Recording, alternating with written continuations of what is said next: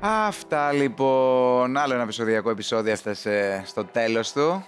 Με νικήτρια το Σοφάκι. Σοφάκι καιρό είχαμε να σε δούμε. Ή, Και ένα, και ένα παρακαλώ σχόλια. Λοιπόν, πήρες τη βαθμολογία από την Άννα, ε, το βαθμό από την Άννα. Πώς και έτσι; Ε, νομίζω ότι λίγο το εξήγησα. Τώρα η ίδια λέει ότι ε, anyway θα έβγαινε προτινόμενη, οπότε δεν την ενόχλησε και τόσο. Anyway. Γιατί anyway; Ε, Γιατί δεν ε, χάνω κάτι στην πραγματικότητα. Καλά, ένας βαθμός είναι ένας βαθμός. Εντάξει. Μετράει πολύ στο, στο καλαθάκι, στο τέλος, στον καλά. Ναι. Αυτά. Δεν θα σας καθυστερήσω πολύ, η αλήθεια είναι. Θέλω να σας πω ότι το επόμενο θέμα, το θέμα του γκαλά, είναι ίσως ένα από τα αγαπημένα μου και είναι και αρκετά δύσκολο. Ω, Αρκετά δύσκολο. Είναι το avant-garde. Όπα, για να κρέμασε η Μαρία, καταλαβαίνετε τι συμβαίνει.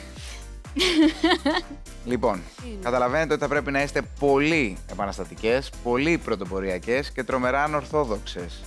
Οι εικόνες σας να έχουν σχέση με όγκους, με σιλουέτες, με χρώματα και με γενικότερα έντονες ιδέες. Οκ. Οι Νο- οποίες βλέπουν στο μέλλον, ας πούμε. Μια Avant- avant-garde. Avant-garde. Το μέλλον. Σου απάντησε. Δεν πρέπει να φοβηθείτε να ρισκάρετε και αυτό είναι και αυτό που θέλουμε να δούμε, έτσι. Και θα κρυθείτε και για το ρίσκο σας. Βέβαια το ρίσκο ενέχει κάποιους κινδύνους, αλλά αν μας βγει σε καλό, οι Ανταμείβει. προτάσεις θα είναι φοβερές και θα ανταμυφθούν αναλόγως. Κατανοητό, Ναι, Ναι. μάλιστα. χαίρομαι. Σας φιλώ και τα λέμε στο πλατό. Ευχαριστώ.